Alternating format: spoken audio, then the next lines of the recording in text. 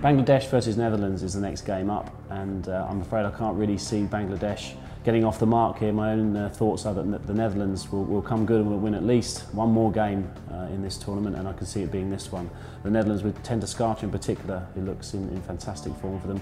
Bangladesh, their own backyard, I think it'll go close, but probably uh, this will be a surprise to a few. I'm going to go for the Netherlands.